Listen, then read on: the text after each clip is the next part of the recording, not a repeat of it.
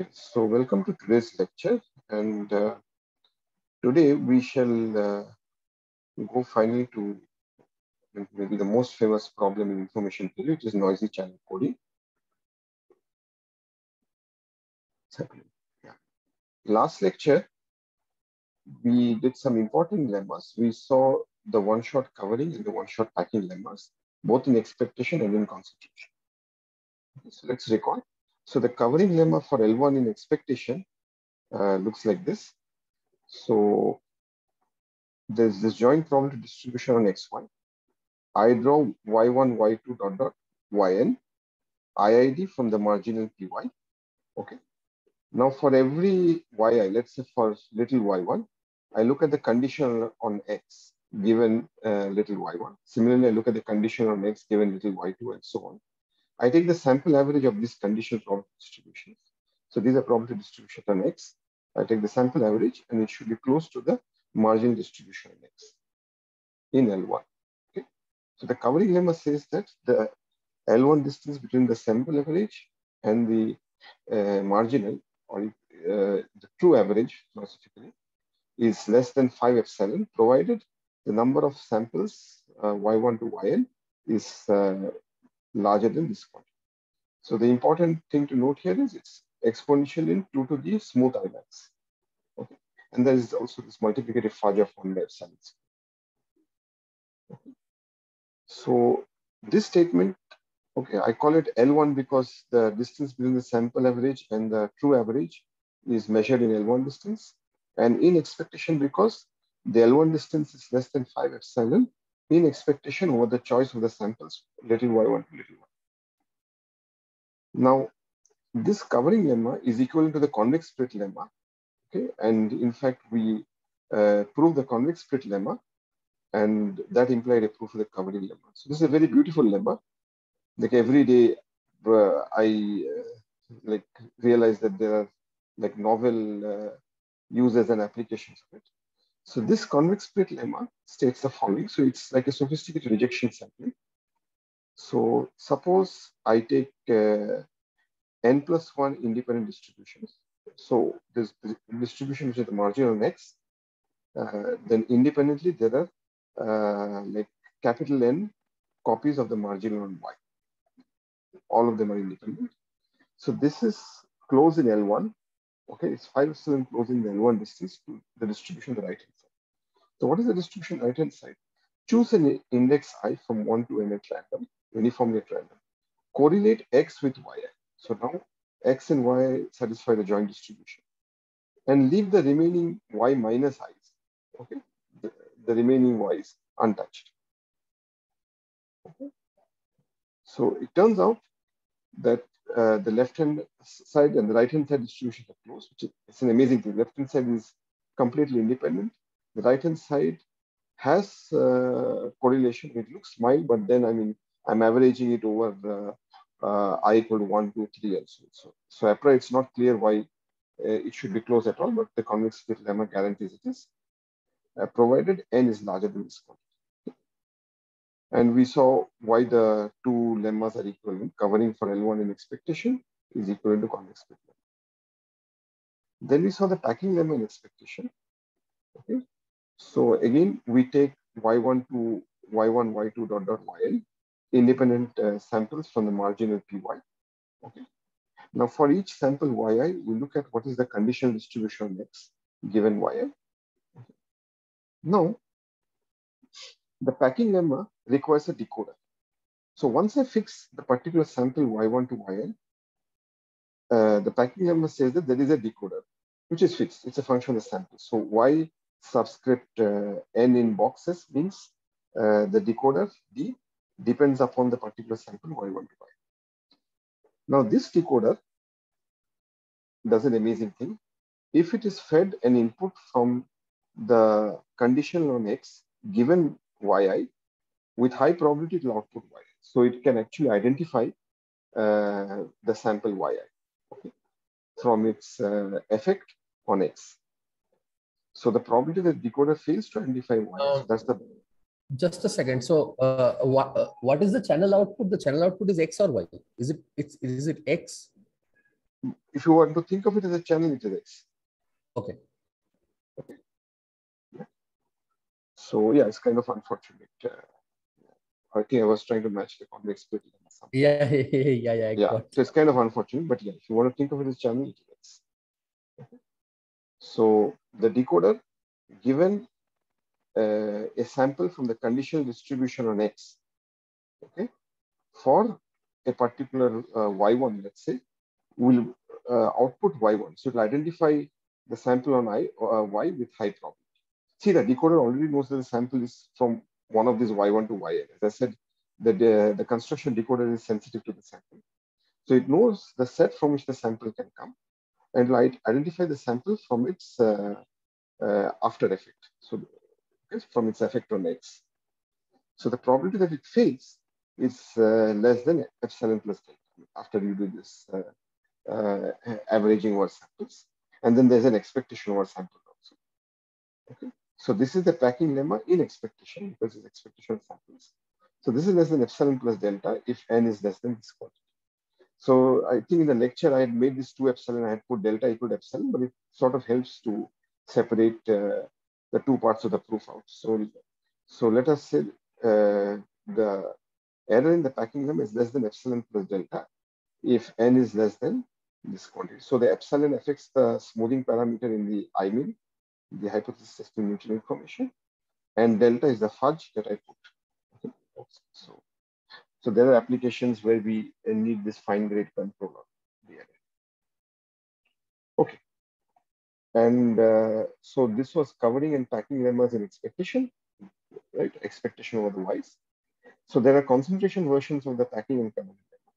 So it says that the probability that the function deviates above expectation by more than delta decays, decays exponentially in the number of samples n and delta square. So what do I mean? So for covering lemma, this is the function, this L1 distance, right? So this is the function of the sample. Okay. So the uh, expected value of this function is less than 5 epsilon. So the concentration version says that the probability that this function, this L1 distance, uh, exceeds 5 epsilon by delta. So probability that this L1 distance is greater than 5 epsilon plus delta will decay exponentially in the number of samples n and delta square. And similarly for packing lemma, it will uh, say that so there is a doubly exponential dependence on the Imax, um, I, I, Imax uh, epsilon xy then, the decay rate, I mean. Yes. E to the minus 2 to the, so it's like yes. very, very fast. It's very, very fast. Yeah. Okay. Okay. Yeah. And uh, yeah, for, so for uh, the packing lemma, the concentration version would tell me that uh, yeah, this is the function. The function is the decoding error over the sample. Okay. So its expectation is less than epsilon plus uh, delta, let's say. So the probability that the decoding error exceeds epsilon plus delta plus delta prime will decay exponentially in the number of samples n and delta prime square. So this is these are the two concentration versions. So they will follow easily from the expectation version by using the method of bounded difference. Okay, these functions have what are called bounded differences. And we are looking at the probability over uh, a product probability distribution, right? IID samples Y1 to Y. So that method of bounded differences kicks in. Okay. And maybe I'll just remind you of the two pictures of, uh, so this is the covering picture, right? So there's this, there are the samples Y1 to Yn, and there are the conditionals on X. So the effect that Y1 has on X. So there's the conditional on X when I have little y1, condition on X when one has little y2 and so on. So the covering lemma wants you to cover almost every uh, sample point X. In other words, I want this average to be close to Px for the marginal. Okay. And it turns out that, uh, yeah, n uh, approximately equal to 2 to the i epsilon max. So the i epsilon max controls the covering. There's a fudge of 1 by epsilon square also multiplied. And so it's actually larger than 2 to the i epsilon max. Okay. So the epsilon square in the denominator. Then for the packing lemma, uh, the picture is slightly different. So there are these IID samples, Y1 to Yn. The effect of Y1 is given by the condition. Okay. I want these conditionals for different Ys to be mostly disjoint. I've drawn them disjoint out here. So I want them to be almost disjoint. So they are all distinguishable. So if they're distinguishable, uh, let us say the decoder is given a sample from uh, X condition on little y2. Just by looking at the sample, he knows that it has to come from this box. It cannot come from here, nor can it come from here. So it can identify y2 with high probability. Okay. So it's really packing and non-overlapping boxes. That's the name packing. And it turns out you can do this as long as n is about this order. Remember, it is 2 to the i epsilon min times delta. So the so the n is actually even less than this quantity. And here the n was greater than this quantity. So this is what we have learned so far, two important lessons. So any questions about it? If not, let's go to hmm. okay, let's go to one-shot noisy channel. Okay, so a channel C maps an input symbol X to a probability distribution uh, P of Y given X on output symbols Y. And this we know. This is the one-shot setting. So the channel is used exactly once. If it's fed an input symbol X, it outputs a probability distribution on output symbols Y given by this. So let's say I fix uh, some epsilon delta less than one. And uh, I want to transmit uh, a message. So uh, I'm allowed two to the R messages. So R is what I'll call the rate. So let M be a message from 1, 2, 3 up to 2 to the R. Okay? And let M be a uniformly random message. Okay. And what is R? R, I'll take to this quantity. Okay. So remember the channel fixes this conditional probability distribution P of Y given X. But of course, the channel does not prescribe what is what distribution to take on the input symbol. So let us say I fix a probability distribution Px on the input symbol. So then I get a joint distribution on input and output symbols. So I get a joint distribution P of X comma Y, okay, which is nothing but Px times this condition. So with respect to this joint distribution, I can evaluate I epsilon min. Okay. And uh, that's it. So I evaluate this, I can maximize this over all possible input distributions Px. And then there is this fudge additive term log by delta, to subtract. Okay. So let's call this quantity as R. And I now I claim that this rate is achievable. So what do I mean by that? Okay. So M is a uniformly random message from the set 1, 2, 3 up to 2 to the R. Then there's a deterministic encoder E mapping M to a code word XM. Okay. So the code word is a particular symbol from the input alphabet. Okay. So M is mapped to a particular code word which I'll denote XM. It belongs to the input alphabet X.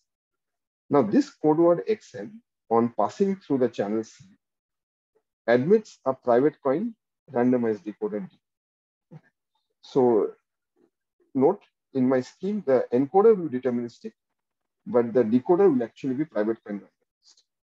So this decoder will output its guess M hat of the message M that was transmitted. It will turn out the probability that M hat is not equal to M, but the probability is calculated over the uniform choice of the message M Okay. And so once you fix the message, okay, you have deterministic encoding, no extra randomness there. But then the channel creates randomness, right? So, so the channel is fed XM, but it outputs a probability distribution Y. So this channel creates some extra randomness. Then the output goes to a randomness decoder, which feeds in its own randomness. And after all this, I get M.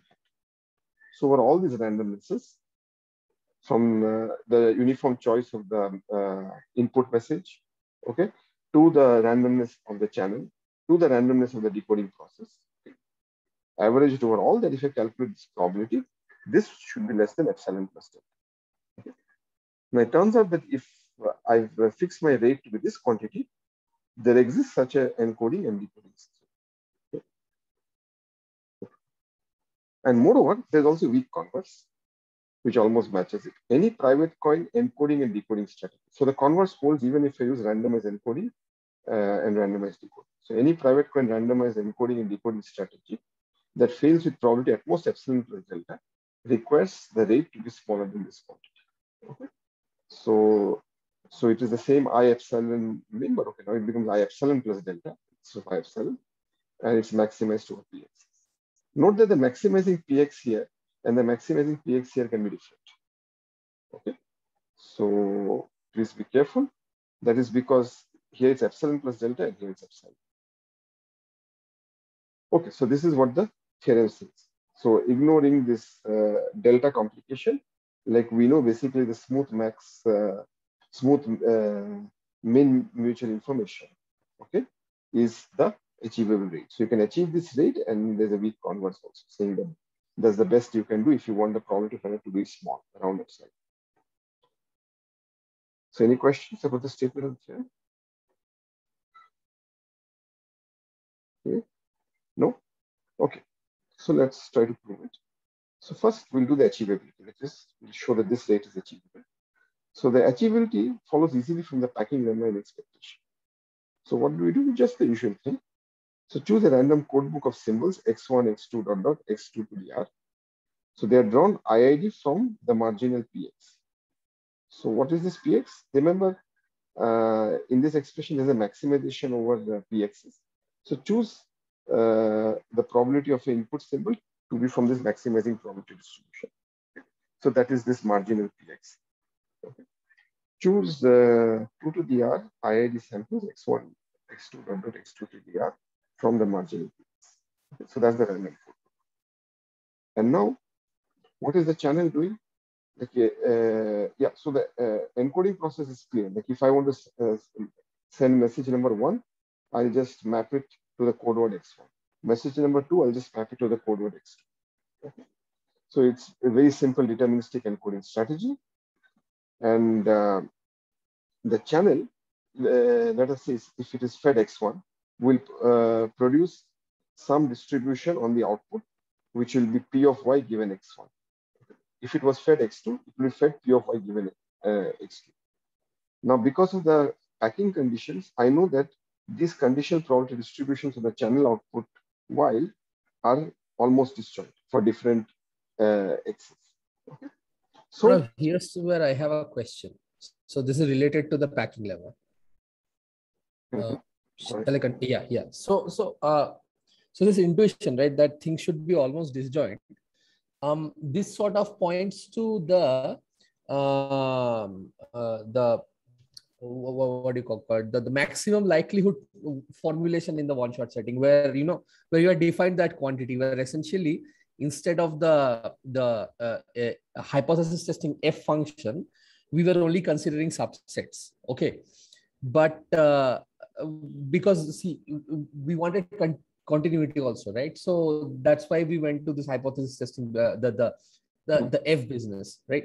So, but then uh, uh, the the F really does not make things dis disjointed. I mean, for things to be disjoint, F itself has to look like uh, once on a subset of the x's and zero on some other on on on the complement. Mm -hmm. So. Sure. Uh, is that true? Is that actually how the uh, optimizing F looks? So the, Hello? So, so the optimizing X, I mean, even if you're using uh, subsets, I mean, it will not in general be absolutely disjoint. Okay. Okay. Okay. So I mean, that's yeah. There will be some do. fudge. There will be some small epsilon fudge. Yeah. yeah. So, but but but uh, I'll say almost disjoint because there's a decoder which can decode it can decode from which conditional uh, probability distribution the output symbol y is coming. Okay. But but you know if if if uh, these were uh, almost disjoint, then I mean here's the question: why, why, do we need a randomized decoder then? Why can't we have uh, more like a like a deterministic decoder? Because if the if the distrib if the conditionals are almost disjoint, then uh, I can sort of uh, just, just just look at the distributions and say that okay, their intersections are very very small in probability, mm-hmm. and I can essen- essentially ignore them and uh, and produce an F, which is essentially like uh, subsets, uh, which which points to subsets. Uh, you, you you understand what I'm saying, right? Yeah, understand. I mean, uh, I mean that's what you do in the joint typicality decoding in the IID yes. Yeah. Yes, yes, exactly. Yeah, exactly. yeah. So it's subsets, and I mean, it, then it's easier to see the subsets are almost disjoint. Surely, yeah. yeah. yeah. So my question is, I can't, I, I can't see why, uh, where the uh, randomization. I mean, I know what the randomization is, so I can't see where the randomization really helps. That's that's the question. In the decoder, you mean? In the decoder, yes. Why do I have to uh, accept with uh, probability f of x of n? Well, I mean, that, that gives you a seemingly slightly better. I mean, of course, all these rates are close to each other because I know I epsilon min is, uh, I mean, uh, uh, any is close to any one of those other three quantities. Right, right, right, right. So okay, yeah, okay, okay. Yeah, yeah. So, so, so the so the point is that I mean, uh, why do you want to restrict yourself by doing deterministic decoding?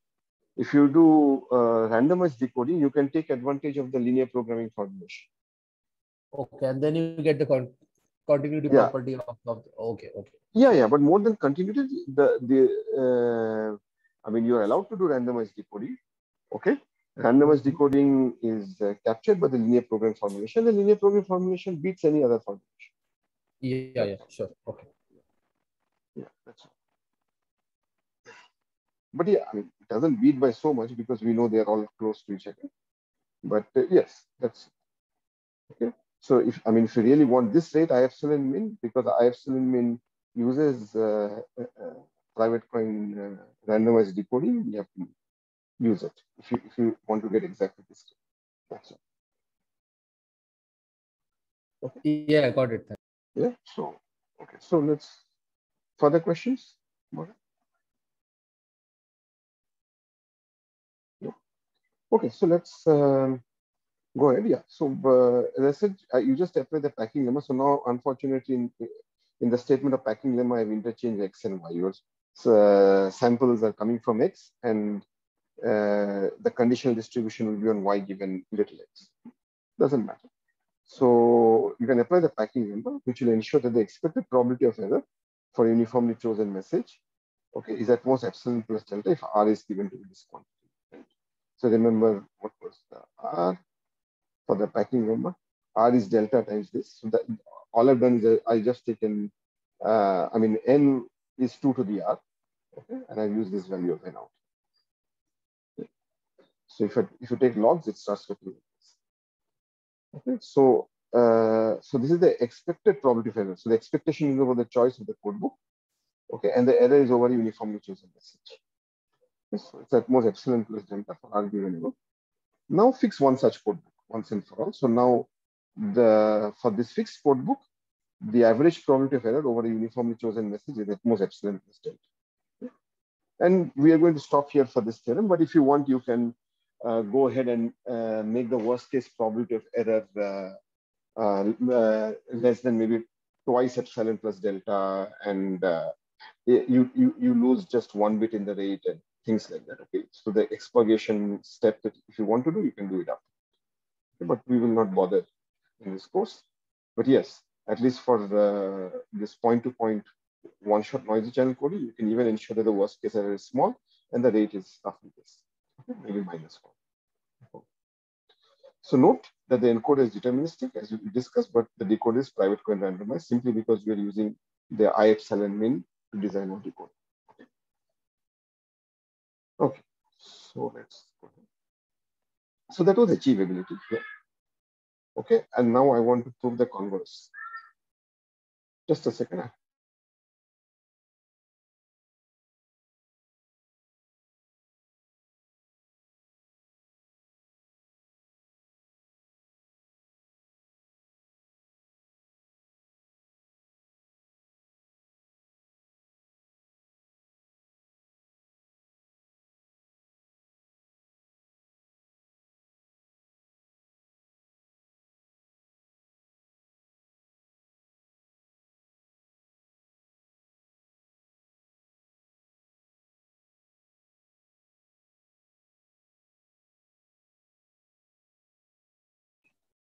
Hello.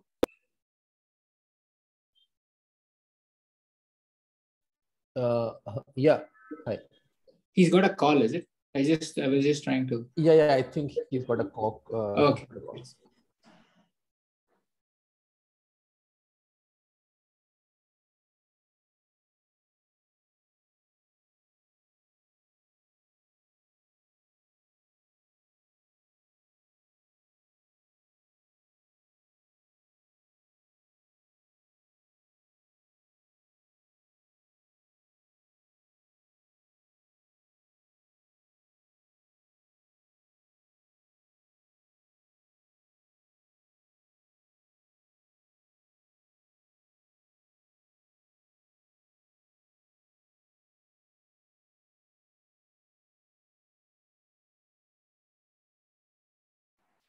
Hello. Yeah.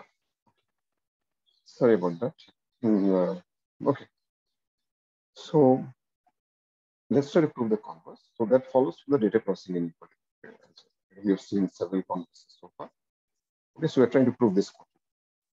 So now suppose there are private coin encoding and decoding procedures E and D, giving overall error probability at most epsilon. So put the uniform probability distribution on the message set. So I'm getting some rate, let us say R. So the number of messages is 2 PR. Let's put the uniform probability distribution on the message. So that means the uh, probability of one particular message little m is 2 to the minus R all. Now let's consider the Markov chain. Okay, so the Markov chain starts from the message random variable, which is uniform. It goes to the encoder. Remember, the encoder has a private coin, so it can add its own randomness. And then uh, I get a probability distribution, like for for a fixed message uh, little m, okay, I can get a probability distribution over code words p of x given n. Then the channel acts on the input alphabet. So for a fixed code word x, the channel creates a probability distribution, the output signal is y. Okay. And then uh, one goes through decoding process. Okay. So that's also a, a randomized procedure. So for a fixed output symbol y, the decoder will output a probability distributions on m hat. So m hat is morally supposed to be the guess for the messenger. Okay.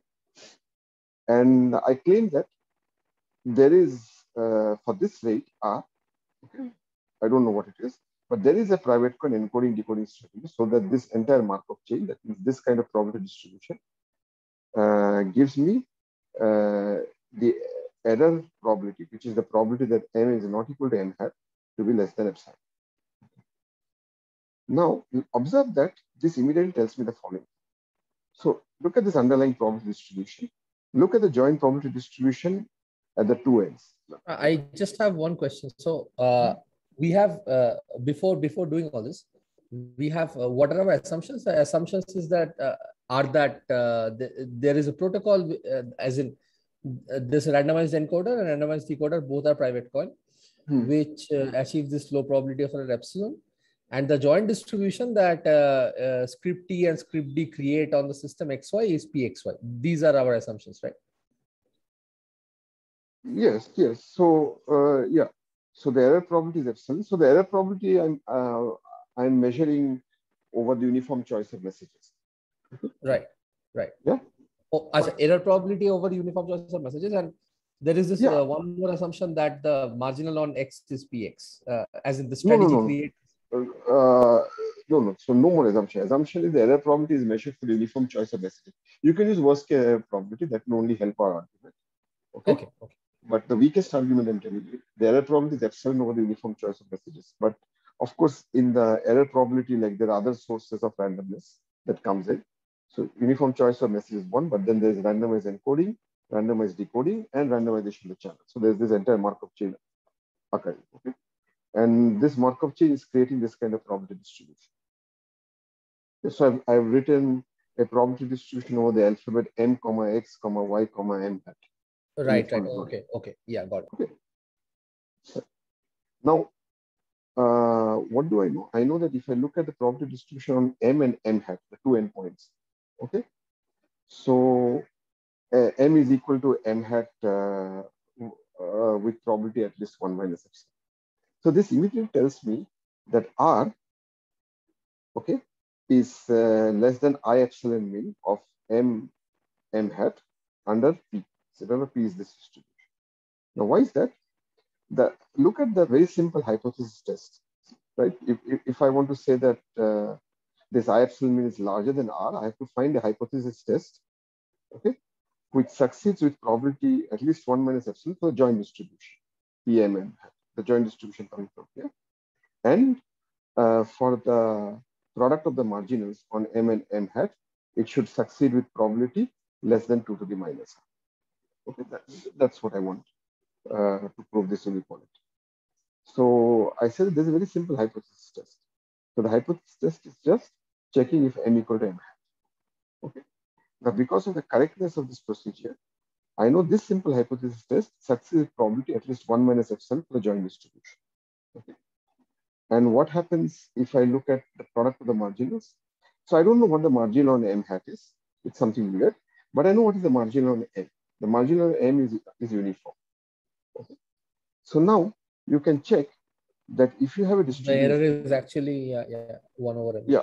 So so you you, you uh, so you can prove the following like if you have a distribution which is uniform of M on M, uh, tensor with uh, some uh, uh, like uh, unknown one or some Any- arbitrary distribution. Any arbitrary distribution. Any yeah, arbitrary. any arbitrary, yeah.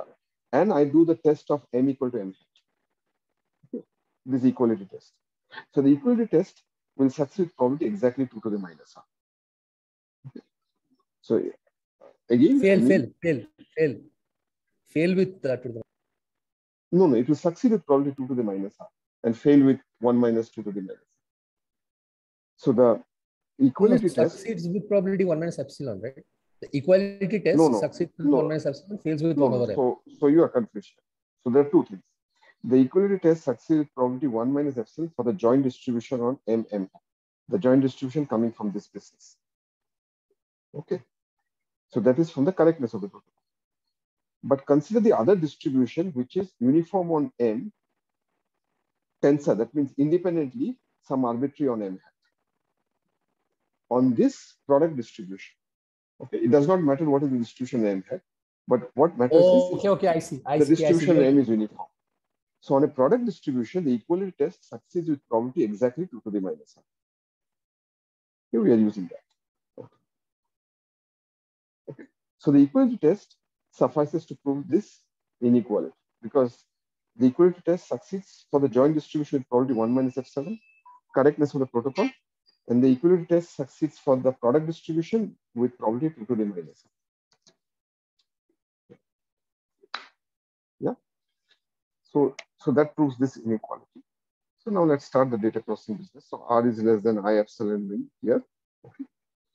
Now, because the Markov chain property, right? So, uh, for, uh, look at this quantity xy. I can do data processing on x and come to n.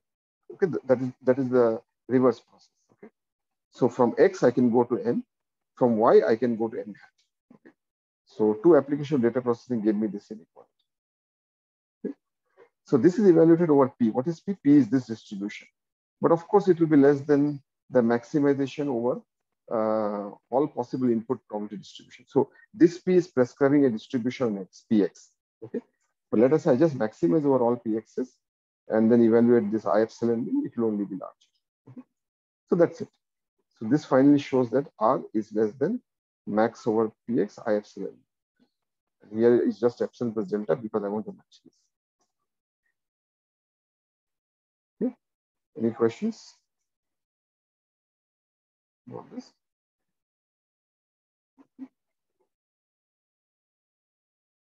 So it pays to pause and uh, think about each step and the beauty of this entire process. Okay. So, so first, so this step is reminiscent. So if you look at uh, converse proof in uh, this asymptotic IID case, okay, the weak converse of uh, Shannon's uh, noisy channel coding theorem, the asymptotic IID case. So this particular uh, uh, thing was Fano's inequality. Okay, so the, the same thing M M hat. So, but then because you uh, like I really want to write the mutual information between M M hat, so I have to write R minus some uh, like error epsilon times the alphabet size, some nonsense like that. But uh, that that uh, that fudge of minus epsilon times the alphabet size is gone simply because I'm using a smoothed uh, mutual information quantity. So that's taken care of. So the Fano part is trivial out here. The alphabet size doesn't matter because I've simply smoothed the information. So that's the first difference and first advantage. So this difference is to the one-shot advantage. So I get this. Okay. And then the data processing was there even uh, in the asymptotic IID. Okay. So, so this part is fine. Okay. And then, of course, uh, maximizing our input distribution is trivial. That was also there. But what was there in the asymptotic IID, which we have brushed under the carpet here, which is not applicable to one shot, is remember, if, I, if I'm doing asymptotic IID, I'll be doing this not over xy, but over x to the power n, y to the power n. Remember, in the asymptotic ID case, the channel is used not once, but n times. So now the in, uh, input alphabet is not x, but x to the power n. N tuples made out of x. So I should maximize this over arbitrary probability distribution over x to the power n. The channel acts in memoryless fashion, fine. But uh, I get a joint probability distribution between x to the n and y to the n. I have to evaluate my mutual information quantity with respect to this. And then there was a clever proof, which used chain rule and some other business, which showed that this quantity, maximization over Pxn of this mutual information, channel mutual information, is basically less than n times the maximization over one copy. So that part is missing here simply because, I mean, uh, we are uh, not talking of n users at all. So we just stop here. So though this looks good, like I want to point out that we are actually ignoring an important part. Like if, if I would apply this theorem, okay, and I, I say, no, I want to get uh, exactly what Shannon did. Like in the asymptotic IID case, I want to get the uh, achievability. So achievability is simple, right? So, I mean, if I, if I was doing achievability here, okay, it's uh, uh, the one shot says I can maximize over P, uh, an arbitrary probability distribution on x to the n. So joint probability distribution evaluate this. But for achievability, I can say, okay, I don't want to maximize over a joint probability distribution on x, x to the n. I will take a probability distribution on x and just take n IID copies of. So that will only lower this maximization. So I will just say that, fine, I'll settle for a slightly lower achievable rate. So R is greater than max. So I'll, I'll still keep a PX here, but then I will put uh, n independent copies of px next to the n here, get something on y to then evaluate this quantity. And then we saw, uh, I mean, at least we remarked in the very first lecture that uh, uh, these quantities, uh, like, uh, and very first lecture and from time to time, that these quantities go to n times the mutual information. So, so this shows, the my one-shot analysis shows that r greater than n times the mutual information is an achievable rate but it does not show that R is less than n times the um, mutual information maximized over Px. So this does not quite show it because I have to stop here at Px to be. So do you appreciate this difference? No, wait a second, wait a second. So, so uh, is, is it not so, so uh, I can simply, when I'm doing the NIID copy thing, I can simply take that as a as a big channel, right? As one super channel.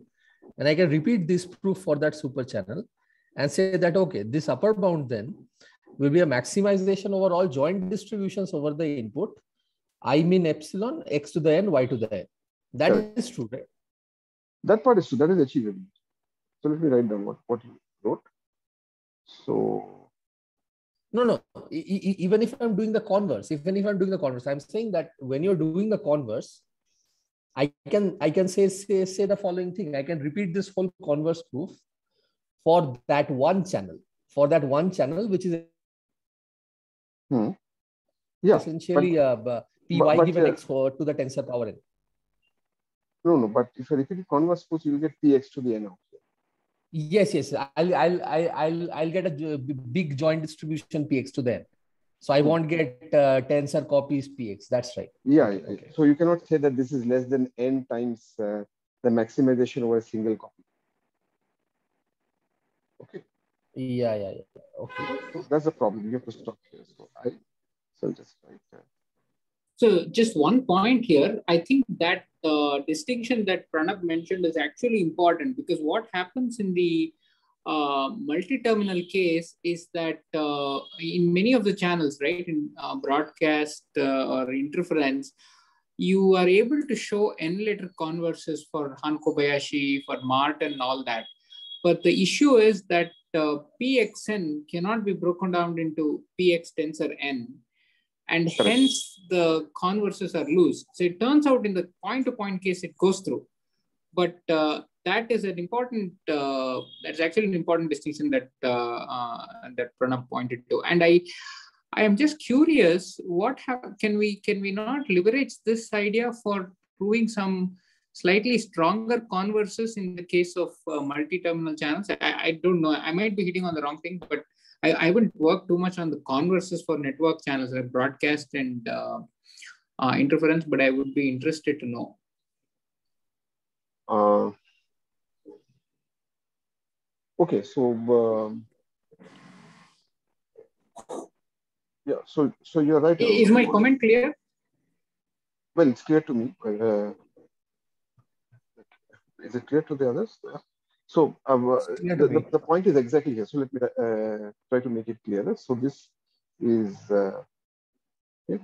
so this is not less than n times max.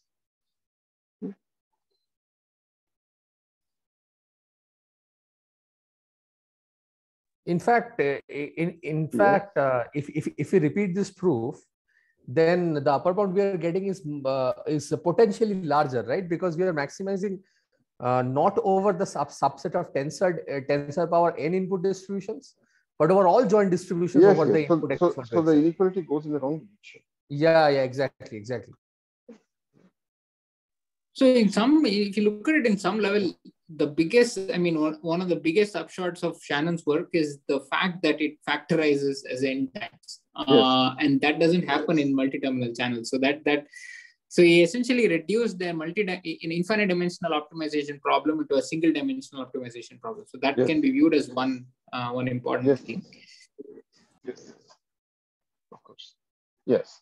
So that's what. So so in the one shot case, so, so that's the problem with the one shot uh, theory that, uh, I mean, often uh, converses look very cute to look at.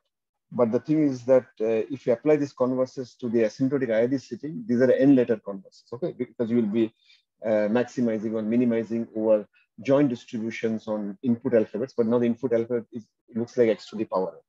Okay, so uh, in general, like you will not be able to reduce it to n times the optimization over a single alphabet.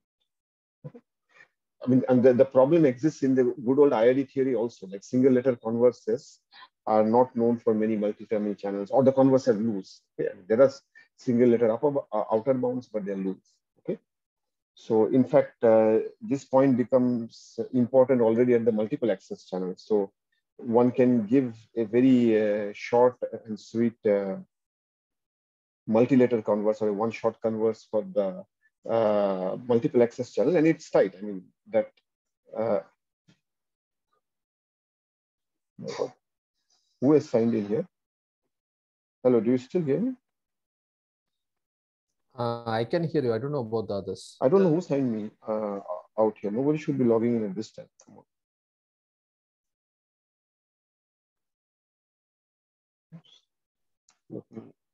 I don't see anyone else. There were four of us, and uh, no, no, somebody has logged in with this account. Oh, okay. Let me, let me log in again to that person.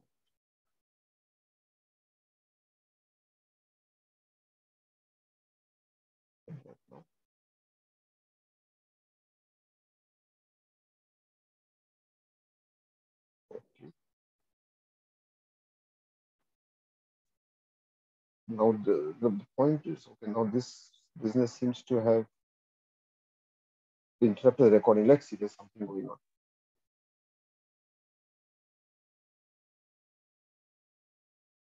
Okay, so I'm still audible. Hopefully this is still being recorded. Yeah, yeah, yeah. Okay. See that later. Yeah. So so already for the uh, simplest multi-terminal channel, the, uh, the, multiple access channel, you can uh, give a one shot or a multi-letter converse, which looks very cute, very simple, and it's in fact tight at the multi-letter level. But uh, that formula does not reduce to n times a single letter formula. Whereas uh, what is usually taught in courses, the pentagonal region for the multiple access channel, okay, does reduce to a single letter formula, and it also happens to be tight for, for that channel. So, so those are issues. So when you're doing one-shot theory, it is nice, but you should also ha always have an eye on uh, what happens in the asymptotic IID case, and can you go down to a, a reasonable single-letter formula. So, yeah. oh, one last question. Oh, one last question. So, what about in the So in the multiple access channel, it's fine because you have uh, you don't have any auxiliary alphabets. But suppose you go to a circumstance like where a degraded broadcast channel where a converse has been shown with an auxiliary alphabet. Mm-hmm. What happens in that circumstance? Uh, is the one letter uh, is it possible to develop such kind of a converse with the auxiliary alphabet or so I, mean, I, don't I, don't know, know. I'll, I don't know. Have to look at that. Okay. So yeah, for, for the multiple access channel, I mean, you can I mean, uh, go down from the one shot to the uh, single letter, I suppose. So at least for the point to point, we are going to see how to do it. Okay. So uh, uh, uh, uh, at the present moment, what I've shown so far does not show how you go to n times the single letter. Okay. But it turns out, at least for point to point, you can do it. I, I would guess you can do it for multiple access channel also. Yeah, others I'll have to see. Uh, I don't know. And I will I mean, spend much time at this angle. Sure, sure. Thank you. Okay. Yeah. So yeah. So the point being that I mean, if if I'd applied this to the asymptotic IID case, I would have got a maximization over. Uh, yeah. So and then I, I would have got a maximization over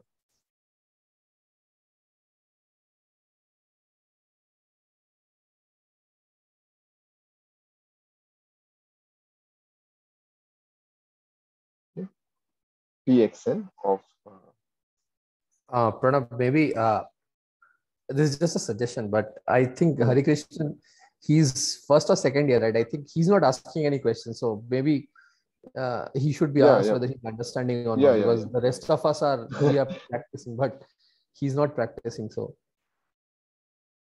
yeah, Hari so actually, yeah, I mean, uh, so I'm getting like few parts here and there, and like I go back and watch this again and I get it better.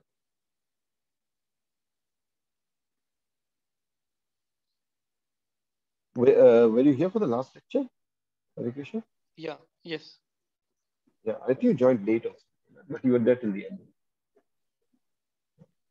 Okay. Yeah, yeah. So you should also use the discussion channel to ask questions and doubts. It's, it's there for that. And, uh,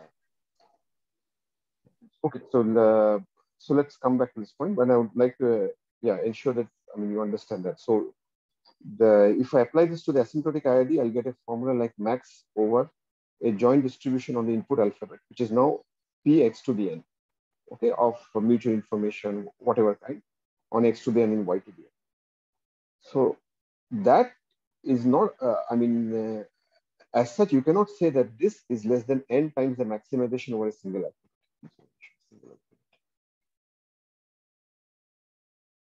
You cannot say that this is n times the maximization over a single element. So that's what that's what we are talking about. In fact, uh, the inequality goes in the other direction. I know that this maximization is larger than n times the maximization over a single element. So that kind of uh, uh, makes things counterintuitive or difficult. That uh, in reality, I mean, for this maximization, in some sense, okay, I've not made it fully precise that uh, I don't have to look at joint distributions on the input alphabet. Just uh, uh, I can take the maximum distribution over one copy of the input alphabet and take an independent copy. So, but as you can see, that will require work. That required work even in Shannon's proof and will require work in our standard proof. Okay. Any further comments? Okay, so let's go ahead. Yeah. Okay, so uh, let's look at the refined converse. And the main reason we are doing it is because we want to go to the asymptotic IID set, okay, and try to finally go down to uh, maximization over a single copy, That's what is called a single letter converse. Okay. So, uh, so can I just ask one thing? So in hmm. channels, so I'm familiar with converses. So, uh, in Shannon's proof, how did it go? So you had NR, that was greater than equal to uh, uh, the, the entropy of the messages, that is HM to the N, which is equal to HM, uh, N times HM or whatever. This is uh, greater than equal to uh, like mutual information between M and M hat plus uh, some extra thing. Then you use yeah. a Fano, right? Then there was a no, no, the, the, yeah, yeah. So no, that was the Fano. Yeah, the, the Fano is just for this part. All that is shows that R is less than the mutual information between M and M hat. Okay. Uh, right. Yeah. Plus something. Right. Right. And and that something looks like epsilon times the alphabet size. Okay. Or what some function yes. of epsilon times the alphabet size. Yes. Yes. So actually, it is uh, well the alpha, yeah log so of that log, log, log of the alphabet log of the alphabet so it is n epsilon uh, like n some epsilon or some small function of epsilon times uh, the uh, alphabet size mod x so that's what it looks but remember then this was nr so if i divide by n then divide by n and everything you can take yeah, epsilon so, to see zero and uh, that alphabet number yeah so you first divide by n and then let epsilon go to so if you just divide by n it is uh, like uh, i mean this quantity uh, mutual information plus, divided by n. Yeah. Plus, plus some epsilon. Log mod x. Yeah. So, so this was the Fano part. This data processing is the same. Okay. Mm -hmm. Yeah. Then this maximization is also the same. It is trivially there. Okay. But then yeah. that will give maximization of px to be. Then you start uh, using the chain rule to break up this mutual information. Okay. Okay. Okay. And when you do that, at one point, you use a memoryless property, and then you realize that uh, this maximization is already attained by taking just one distribution on X, okay, the best distribution on X, and then taking n independent copies of that. So that is the property of the of the chain rule and the memorylessness. You're saying? Yes. This uh, so, this observation so, that going yeah, from yeah. joint distributions to product. Yeah, so I have to, uh, so these are n copies, right? So I have to break it, the chain rule will break it up into n terms, but each term is now over one copy. Yeah, each term will be a, there will be conditionings over yes. the other copies. Yes, but then you say that, okay, yeah, then you say that, okay, look, this is a, this is a memoryless thing. So hmm. this conditioning uh, doesn't matter. That's, that's, not entirely clear, right? Because the input distribution, even though it might be memoryless, uh, at most, so, so what you can say, yeah. Okay. Go and look okay. at the, the conditioning yeah. helps. And uh, uh, you can say that, yeah, so so uh, suppose you're looking at the ith copy. So that it will look like mutual information between xi and yi. Okay. Conditioned mm-hmm. on uh, x1 to xi minus 1. Yes, yes. Okay. Yes. And then you say that I'm using the memoryless behavior channel at the ith copy. Okay. So you can say that uh, as long as I'm doing maximization, the conditioning does not help. Of course, the conditioning affects distributions, but if I have to do maximization, the conditioning does not uh, help the maximization. Okay. So then you say that, okay, the best that I can do is I maximize over one. I maximize over the ith copy, uh, ignoring the conditioning. I maximize over the i plus one th copy, ignoring the conditioning, so on and so on. So that just means okay. I do okay, n times the maximization over. Okay, so this is how the proof goes. Okay. So, so yeah, I mean, uh, there is cleverness involved. You have to use the chain rule. But I'm just trying to see how you will do it for the one shot. If, if I can get it, yeah, it's, it's, it's it's it's not easy. I mean, from here we don't have a ch uh, chain rule for I epsilon min. And, uh, then right. uh, there is also the, I mean, conditioning business and things like that. So we'll see. Okay.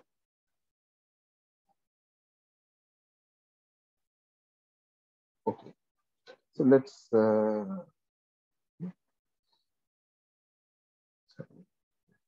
So let's go ahead. Yeah. So we have to work towards the asymptotic IID. So for that, let us first prove a refined converse for the one shot. So any private coin randomized encoding and decoding strategy that fails with probability at most epsilon plus delta requires the rate to be less than this. So remember earlier I just had to go back R less than maximization over Px of this I epsilon plus delta min. So I epsilon plus delta min means that it is d epsilon plus delta min of the joint distribution with respect to the product of the margins. It will be px times py. But now I'm doing something strange. I'm forgetting the py. I say that replace py by qy and do a minimization for qy. So this quantity, okay. So this right hand side is in general lower than the right hand side out here. Okay, because here I'm not allowed to use a Qy. I have to use the PY. But, but now if I minimize over Qy, it will make the right hand side lower. But I claim that this is still a converse.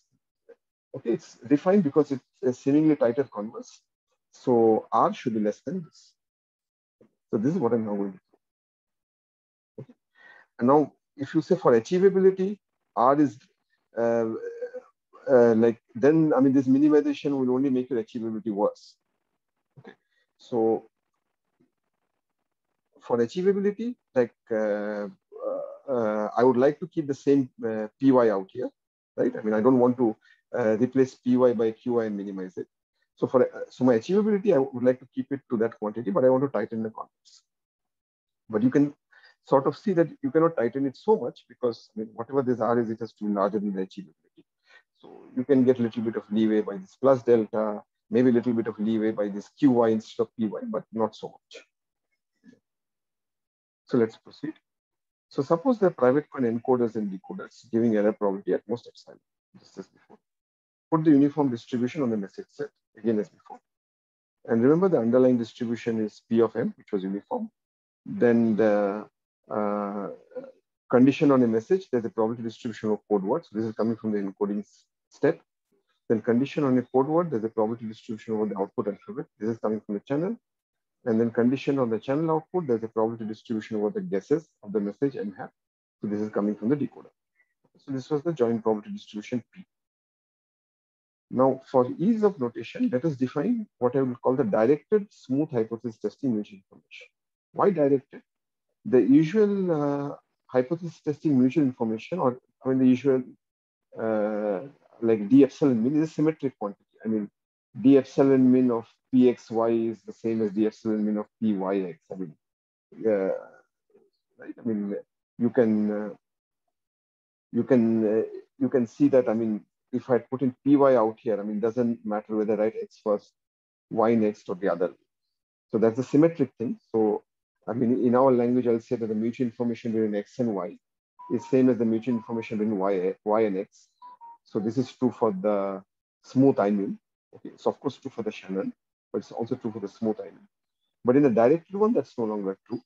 So that's why I'm changing notation. I'm writing x semicolon y to point out that there is some direction, or there is some asymmetry out here. So what is this? So take d epsilon min of the joint distribution pxy. Okay. And uh, uh, for the second distribution, use px, so that's the marginal, times qy. Okay. So the symmetric definition, the undirected definition would have used a py out here, but I'll use a qy and I'll minimize the word py. So basically, this quantity is the directed mutual information. Okay. So this is the this is just a definition for my p's.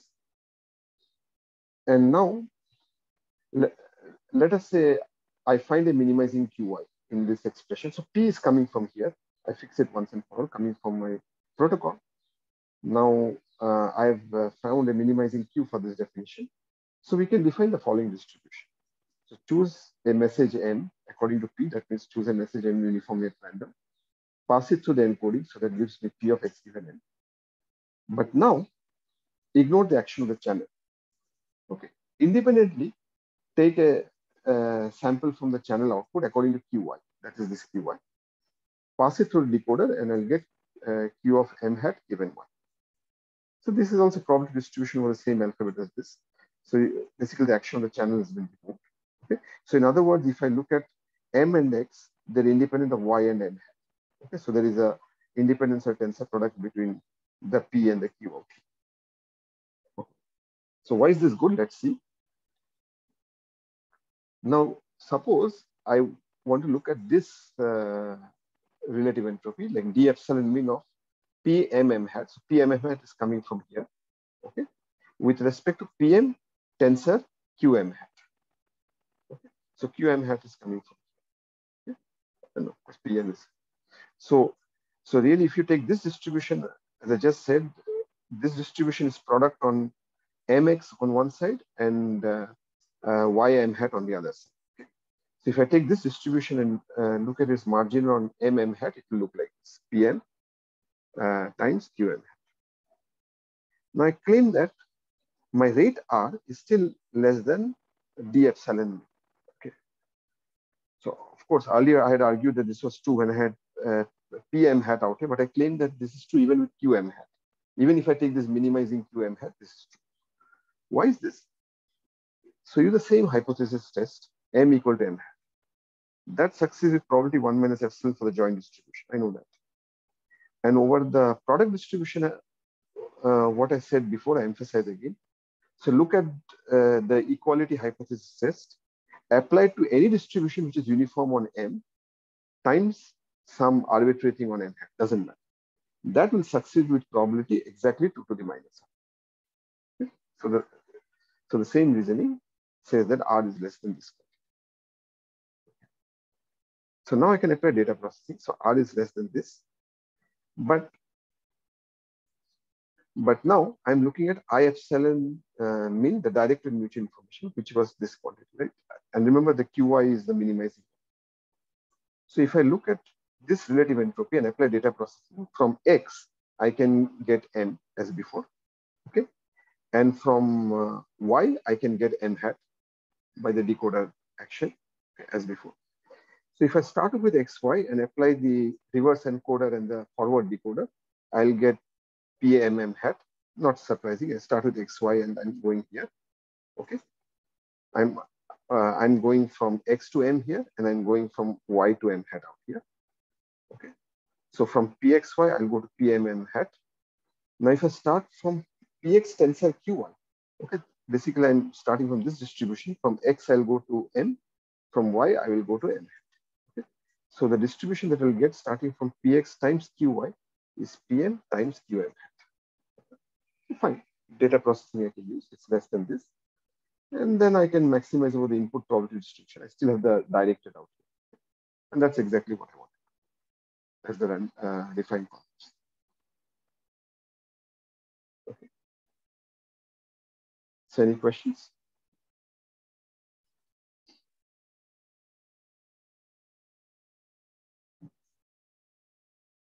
Okay, so let's uh, proceed. Okay, so I mean, it looks a little uh, unnerving that I mean, I, I can minimize over QI, but yeah, I mean, that's how the mathematics goes. But you, we will see the power of this step. So now we want to uh, go to the asymptotic IID setting. So actually, I should see strong converse for uh, not one shot, but uh, asymptotic IID. So strong converse for IID noisy channel code. So, okay. So what do I mean by this? So the achievability theorem for the one-shot noisy channel coding has a weak converse, which we just saw, the, the defined weak converse. So it's a one-shot weak converse. So why do I call it weak converse all the time? Weak converse just guarantees that if I take a rate R larger than this bound, then the error will be larger than epsilon. Right? If you want error less than epsilon, the rate has to be less than this. So if you take a rate larger than this, error will be bigger than epsilon. So that, that's why it's called a weak converse. So which means that for larger rates, the error will be more than epsilon. But what we want is we want an even larger rate R prime where, where the error will jump to 1 minus epsilon. Remember, epsilon is a small quantity, like maybe 0.001 or something like that. So uh, saying that the error is more than 0.001 is not very interesting to us. We would like to say that the error is more than 1 minus 0.001. So we want to see at what rate R prime the error will jump to 1 minus epsilon for any. Okay. And this rate R prime will be called a strong converse rate. Now stated in this language, it's clear that R prime is bigger than R. So R is the weak converse rate where the error is uh, epsilon. R prime is the strong converse rate where the error is 1 minus epsilon or higher. Yes, of course, you would expect that R prime is larger than R. Okay. So we want to know how much larger it is. Okay. So is this part clear? So strong converse rate is not an achievable rate. Achievable rates, we only want achievability for epsilon error. Okay, I mean, achievability for one minus epsilon error is not so interesting, but uh, really speaking, when I'm talking strong converse rates, I'm talking of the error regime of one minus epsilon.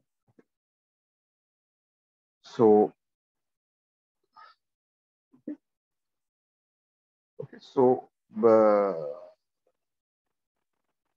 so, uh, so for R prime, we want error 1 minus epsilon. So already what we know, we know that R prime is larger than this quantity. It's just coming from the refined converse, but I'm replacing epsilon by 1 minus epsilon. Okay, so we already know that a rate r prime larger than this will give error 1 minus epsilon. Same reasoning as before. And we also know that if the rate r goes slightly smaller than this, the error will be less than 1 minus epsilon because of achievability. I mean, remember achievability and weak converse are very close to each other. And there is some fudge of delta, but that's about it. Okay. So, so really, I mean, what is this telling us? This is telling us that the weak converse rate will have an epsilon here. The strong converse rate will have a 1 minus epsilon. But uh, for our later purposes, I, once I 1 minus epsilon, I want to uh, change the notation d min and make it d max. So remember, we had a theorem earlier on that d min with error 1 minus epsilon is roughly d max with error epsilon. Okay? So invoke that theorem. So this says that any protocol with rate r prime larger than this quantity. So I've just replaced d min by d max, and I'm using the exact theorem, so the fudges of delta will come in. So any protocol whose rate r prime is larger than this, okay, so this quantity is larger than this, so which in turn will imply that the error is greater than 1 minus x. Okay. So now I'm going to study this quantity. So what have we learned from this discussion? That as long as my error requirement is less than epsilon, I can achieve rates up to this quantity, close to this quantity. I can get close to this quantity and I cannot go beyond this quantity. I know that. Okay. Now, if I if the error sh uh, should increase from epsilon to 1 minus epsilon, there's actually a smooth increasing rate from this quantity to this quantity, which was not clear in the asymptotic IID analysis. Okay, so people who have seen strong converse in asymptotic they'll say, oh, come on, the mutual information is also a strong converse rate. Like if you have to go to a rate larger than the mutual information, the error will jump close to one. Okay. But uh, we will see that, I mean, uh, the reality is more subtle. Okay? And the asymptotic IID analysis is hiding some subtleties. So we'll have a, a deeper understanding of the subtleties today. So at the one-shot level, we can clearly see that there is an increasing in rate as the error increases from epsilon to 1 minus epsilon. Okay. And now we'll see what this picture looks like in asymptotic IIDs. So this was all one-shot analysis, but then we will uh, apply the same formulas, but now you have I'll have alphabet x to the n, y to the n, and we'll see what this picture looks like, what this increase uh, in rate looks like. So any questions about the plan for the rest of the lecture? Uh, uh, this is a continuous increase because of the continuity of d min and d max in epsilon, right? Well, d-min, right? It increases d-min, from yeah, yeah. this d-min. d-min is continuous in epsilon, so it smoothly continuous. Yeah. Okay. So now we'll see, I mean, how smooth or how fast it is once I evaluate this d epsilon min for the asymptotic IID level. Yeah. So one, just just one question. So uh, all this I could have also done without bringing bringing in the refined converse. I mean, all, all, this argument is still true when I say px tensor py, but somewhere later in yes, the proof, yes. it this qy yes. will uh, be necessary. Yes. So so far, yeah. It, uh, I mean, it has not made its importance felt, but it will. Good. More comments? Okay, not that's good. Yeah. So let's start. So observe that the distribution, so we uh, like uh, we will we'll still look at the one shot for some more time. So observe that the distribution Pxy, the joint distribution, is a convex combination of these distributions. So what is this distribution? Fix a symbol little x. Okay. Look at the probability distribution which gives probability mass 1 on little x and 0 elsewhere. So I'm calling that 1 subscript x. Okay. So it's a single point probability distribution on the alphabet x tensor, uh, the distribution on y coming from the condition. So this is the distribution on y conditioned when uh, x is equal to little x. So a bunch of this distribution, one distribution for every little x. And now if I take a convex combination of these distributions of these probability vectors with coefficients px, I'll get this probability vector px. Is this clear to everybody? So this joint distribution is a convex combination of these probability distributions. So similarly, the distribution Px times Qy is a convex combination of these probability distributions. So these are the, uh, just like before. So this is the single point distribution uh, concentrated on little x. And here this is qi. I mean, I mean this was independent, right? So fixing uh, x equal to little x has no effect on y. But if I take a convex combination of these distributions with the same coefficient px, I will get px times q. Okay. Now I'll use the joint convexity of d epsilon max. So remember, how do you prove joint convexity? We prove it from the data processing inequality. And ultimately, all our data processing inequalities just say that if I discard a register, the distinguishability goes down, the relative entropy goes down. So we had seen this proof for the Shannon relative entropy, but exactly the same proof will work for d epsilon max. So we had argued that data processing should hold for d epsilon max, that's good. Joint convexity holds. So now I look at d epsilon max of this. So, so remember, okay, when I was here, I was just talking about the increase in d epsilon min to d1 minus epsilon, right? This increase there. But then I said I can replace the second quantity d min 1 minus epsilon by d max of epsilon. Okay. So now you'll see the power of this replacement. So I mean, uh, like this quantity upper bounds are d min because the inequality has to go in the right direction. So it look look like I'm losing something, but don't worry, we will see the power of this translation of working with uh, d max. So I'm basically evaluating d epsilon max for this distribution pxy, the joint distribution with respect to px times qy, the product of the margins. Now, by the joint convexity property, I can say that this is less than, so the relative entropy of the average is less than the average of the relative entropy. So the right hand side. Okay. yeah. So now I can do my max min business. Remember my uh, uh, refined converse, right?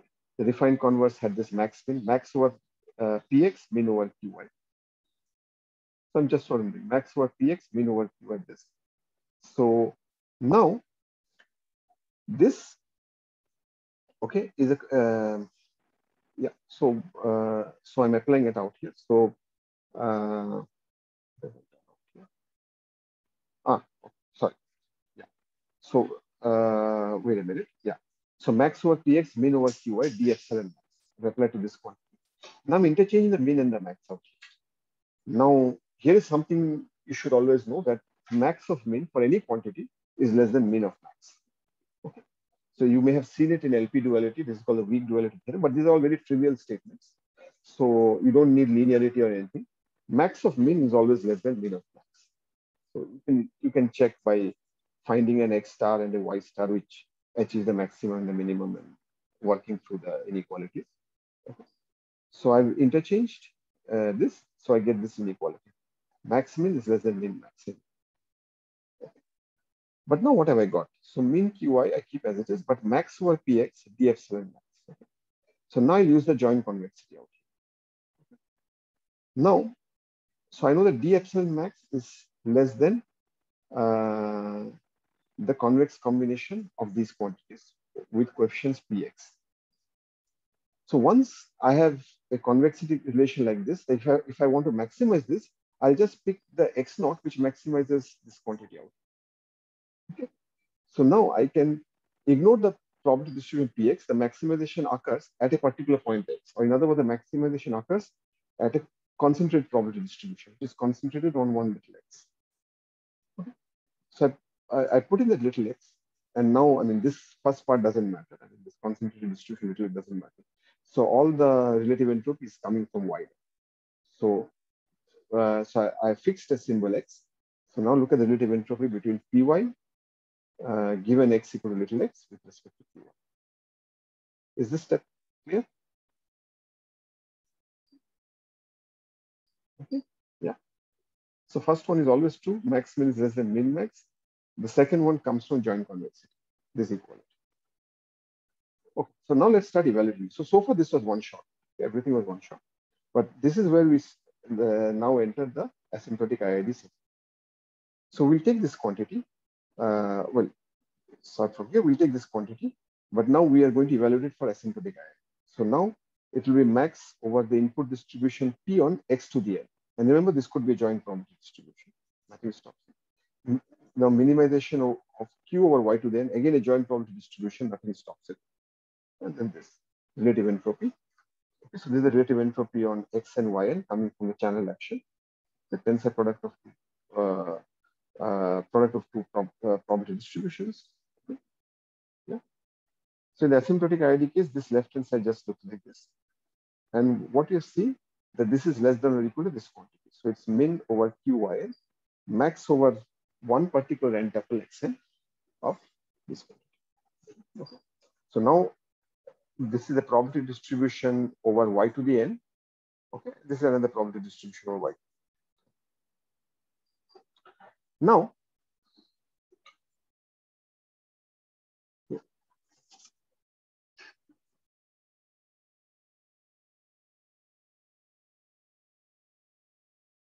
yeah.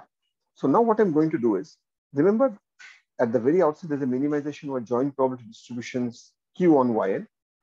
I will say that I don't want to minimize our joint probability distributions on Yn. I'll take one probability distribution Y, okay, and I'll take n independent copies of it. So in the second place out here, I will take n independent copies of Qy. Okay, so now it's just over a single uh, uh, uh, copy of the alphabet. Okay, so minimizing over uh, a joint distribution on Y is uh, less than minimizing over a uh, tensor product distribution okay, on y. So that's what I'm doing. So take qy on a single copy of y. Now take n independent copies of it for y. But for this maximization, it's some extent. Okay, so that explains this in inequality. And now we have a further upper bound, and this is the hardest part. So I claim that this is less than n times Okay. So min over qy. And now I'm doing maximization not over an n tuple, but over just one. Okay. So just one symbol x. So now I'm looking at uh, probability distribution not over y to the n, but over y. Okay, conditional probability distribution of y. Okay, then qi out here. And then the factor of n comes out out here. And then there, there are some added terms, but they are small o. That's my Okay. so lots of So how- questions. Lots of Hmm? questions. Yeah. Many questions. Uh, so first, first, even before we get to uh, what you call the hardest part. Uh, so what are we doing? We we first went from uh, dmin to dmax to do the upper bound, and that yeah, that d min of, of 1 minus epsilon. same of one yeah yeah so so we went there because uh, we want an upper bound which uh, essentially tells me that you know the error here is uh, slightly less than 1 minus epsilon so okay that makes sense now i'm saying that okay since i want an upper bound i can break this guy further so I, I'll break the space into smaller bags. Each bag is a condition on uh, is a conditioning on uh, small x, right? And uh, Mhm. I, I I I do that by uh, using using the joint joint convexity. Great. Yeah. But what I don't get is uh, what this is buying me. Why am I going into the smaller bags at all? I mean, Oh, because I want to get a single letter characterization. na? This is the asymptotic id case. I want to get a single letter characterization. in the asymptotic ID case, I want to get a single letter characterization. Okay, okay, okay, fine, fine, fine. Okay. And uh, okay, got it. So the single letter is uh, is creeping. Yeah, yeah, got, got it, got it, got it. Yeah, yeah, got it. Got it. So yeah. Okay, so so, so for, yeah. So first of all, um, yeah. So one question you may ask is, I mean, why did I go from d min to d max? Okay, I mean, one is, I mean, you may say, okay, I don't like one minus epsilon, like epsilon, but that's, I mean, that is the lesser requirement. The, that requirement comes at the very last step out here. Okay, so remember there's a maximization over xn out here. Okay, so if uh, if it were uh, and d epsilon max is the maximum value of a, of a certain ratio of probabilities. Okay, if I had a d min out here, this would have been the minimum value of, of a ratio. of the likelihood ratio. So that would not gel well with this. So I want, so this is a maximization. I want to further loosen it and get an even larger quantity. So I should work with uh, quantities that maximize likelihood ratios, not that minimize likelihood ratio. Okay. So in the very last step, this is this is where I will be using the fact that d max epsilon is good, not not uh, d min one minus epsilon. So, I mean, I mean, keeping this uh, in mind, like I had already changed from d min one minus epsilon to d max, but that comes from here. Okay. For this to make more sense, let's see what is happening out here. So this is Xn. Now remember, I mean, the asymptotic IID case, your uh, input alphabet is fixed. So we break up the n-tuple xn into bunches of a fixed set of symbols. It's got a finite number of symbols. So I just break it up into bunches. And if I fix a symbol x naught, let's look at this bunch. Suppose there are, suppose there are k copies of x naught in that n-tuple. So I'm just calling it x naught to dq. So I'll see what is the contribution of uh, d epsilon max, okay, to, to this d epsilon max coming from this bunch. Okay, and this is where I'll use, well, we haven't uh, proved this uh, precisely, which we'll do in later lectures, but this is what I've been alluding to. And a similar thing we had seen in the very first lecture when we looked at uh, one-shot uh, source coding. Isn't this exactly equal? Isn't this exactly equal? Because all of the x naughts are the same symbol, right? So this should be exactly equal to k times d of whatever this is. Not no, no, no. The, this is the Shannon relative entropy. Oh, okay. okay. That's what, this okay, is d epsilon max. Okay. So, and there's a little o of k. So that will be like square root of k if you do the Chebyshev analysis. Okay. Yeah. So the lit so little of k will look like uh, big O of square root of k, but the big O will also hide your epsilon and properties of the probability. So what I was saying was there is an intervening step which is like k times d max epsilon of this thing, right? Because uh, because every symbol is the same. So huh. the max of the probability ratios is also uh, the same. You have to be careful here because uh, if you say k times uh, d max epsilon, see, I mean, in one copy you're losing epsilon the probability. Okay, if you're doing k copies, you lose uh, k epsilon in the probability. Okay. Oh, okay, okay, okay. Yeah. yeah okay. Yeah. So, I mean, that argument does not work. So you you really have to go to d out here where there is no epsilon anymore. Okay. So, the, so, so the point is the dependence on epsilon, I can shift to the little o term which will not matter for my uh, asymptotic IID analysis. Okay, so we've seen this in the noiseless uh, source coding here. The dependence on epsilon went here. Okay, and if you do the full second order analysis, then we'll even know what is the dependence on epsilon too in much more detail. But yeah, the point is the dependence on epsilon goes out, out. So I should probably put little o subscript epsilon. Okay, so this is for uh, one, one symbol X naught. I mean, there's just a fixed set of symbols. So you can do a little bit more of work and push more things than the little o and get this. So basically, every symbol X naught is giving this co contribution, the uh, uh, relative entropy, times k, the number of times it appears. So of course, your uh, length of the tuple is n. So if you add all of this up, you get n times this. And remember, I want to maximize, right, over xn. So the so if I want to maximize, I might just fix the symbol x naught that maximizes this quantity. Okay, and that's what I've done out here. So n, so there's this minimizing qi, which I fixed in this entire analysis. Then this is the x naught that maximizes this Shannon relative entropy, so max x, and then there's little o. So this will make a little more sense as we, I mean, as we look into this in more detail, which we'll do in later lectures. But this is what uh, is going on out here. Okay. So this is a translation from the N letter to the single letter. And you can see it's a little more sophisticated than what was there in Shannon asymptotic Okay. There's a minimization over QI that is there, right? Yeah, Which that's this is not there in the Shannon thing. Yeah, yeah. This is not in the Shannon, and then I mean, there's all min max. Uh, I mean, max min is less than min max. They are not there in Shannon. Okay. So I mean, the, the proof is very different. It's much more sophisticated. Okay. Then of course there's d epsilon max, which you have to analyze, and use uh, like this lower order analysis, which is also not then Shannon. Get this. Okay. Okay. Further comments? Okay. So that's it. So now, what have we shown for the asymptotic IID case? Remember, like our uh, strong converse rate R prime is less than this maximization over the input distribution P, but this is on X to the N, joint distribution minimization over q y to the n, also a joint distribution, okay, of the d, d epsilon max quantity. But we argued that this is less than n times the min over qi. Now this is over one copy. Then max over the symbol x, again over one copy. And this is now a one copy Shannon relative entropy quantity plus little o. Now let's go ahead. But let, let us analyze what is this maximization. Uh, I mean, what is this quantity? Maximization of the symbol x of this quantity. So, so let's see.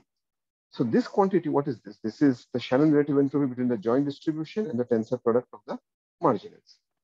Okay, so this is nothing but actually the mutual information between x and y. And then I'm maximizing it over the input distribution px. So fine, I write this. Now, so let's look at the relative entropy term. So I, I'll replace py by qy and minimize over qi. But it turns out that the minimizing qi has to be the marginal qi. So this is true for the Shannon relative entropy, which you can prove by concavity of logarithm. Okay, I mean, if you want to minimize the Shannon relative entropy, you better put a Py out. So fine, but I like to put in qi. So I, I put it out here. Then I'll uh, interchange the max min to min max. So normally it will be less than or equal to, but here it is equal to. This is because of a strong duality theorem in a certain sense called Sion's minimax theorem. So essentially what you need is a function which is continuous in x and y and uh, con uh, convex in the right arguments. So here with equality, I can interchange min max. So I get the min qi max this. But but uh, but once I have this, then I can ag again apply the joint convexity of uh, this time the Shannon relative entropy, same arguments before. So I can drop the probability distribution on Px and just concentrate all the probability on X on a single symbol. Okay, and this is exactly what I had out. So what does this show? This shows the strong converse rate, which is uh, less than this quantity. So the strong con uh, converse rate, this quantity, is uh, less than uh, n times. Okay. So this was the mutual information, max maximize mutual information plus little of Okay. On the other hand, achievable rate is trivially lower bounded by, so we know what is achievable. So uh, like I epsilon min, x and y n maximized over pxn. Okay. But then I will say that, oh, I mean, I only want a lower bound. So I'll not even maximize our joint probability distributions on xn. I'll just take a probability distribution on a single copy x, take n independent uh, copies of px, and that is my p out here. And then that's it. So, uh, so, so, yeah, so if you do that, then again, it's the same kind of analysis that the uh, hypothesis testing mutual information approaches the Shannon mutual information once everything becomes uh, IID. So it is n times this minus this o. So I know that the achievable rate for error epsilon is larger than this quantity. The strong converse rate for error 1 minus epsilon is less than this quantity. And then uh, this actually proves something stronger. This says that the mutual information can maximize over px, what is called the channel capacity, okay, is both achievable and a strong converse.